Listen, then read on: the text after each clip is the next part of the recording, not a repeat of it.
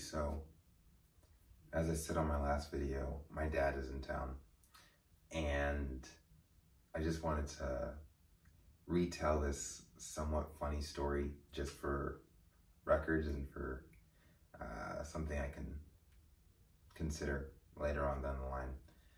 Anyway, uh, the majority of yesterday when I'm spending time with my dad at the hotel, he's visiting from Jersey, seeing me, mainly seeing his grandson, but that's okay because it's great to have such a such a huge fan of my son uh, in his corner.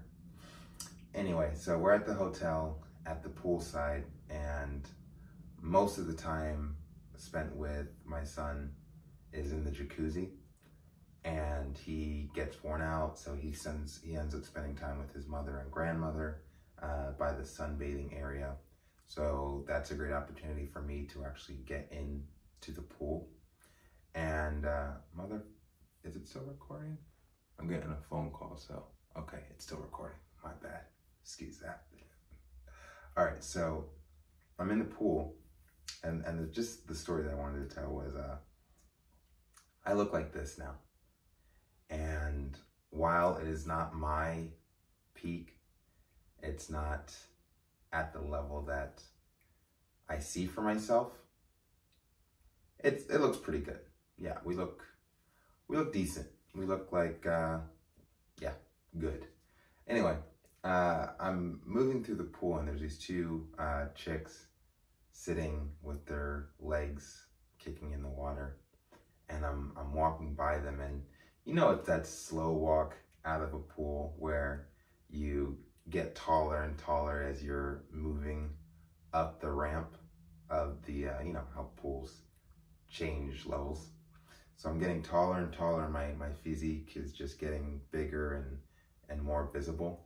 And I'm walking right by these two girls line of sight and I'm aware of them. I don't deign to imagine that they would be aware of me because most of my life, I didn't really think that girls were paying attention to me. So as I'm walking by, one of them says, hi. And it literally takes me five to 10 seconds for it to register that they're actually speaking to me. So that by the time I look over and smile at them, it's kind of awkward because it, had been so long since she said hi that uh, now it's like, oh yeah, you you were you were talking to me.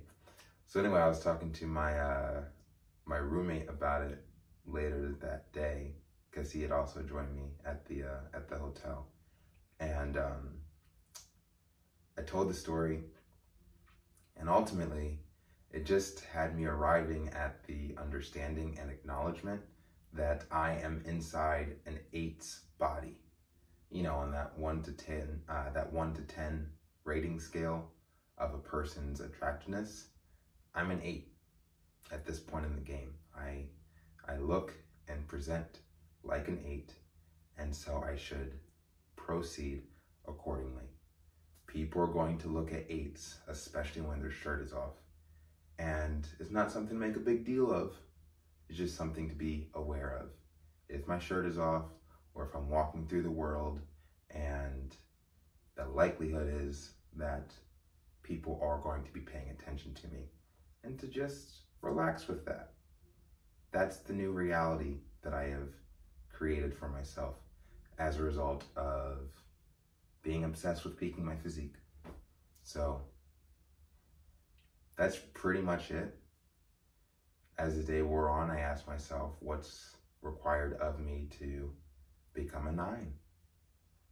If it's even possible, given my height, the shit that I was born with, my face, yada, yada, yada. Maybe I can get to nine status if I actually finish this process of becoming wealthy and successful. We shall see. We shall see. Anyway, uh, just a quick little story. Really got to get into actually making relevant content. Uh, these breaks, these breaks, these little deviations from the routine, but baby steps, baby steps, baby steps. See you in the next one.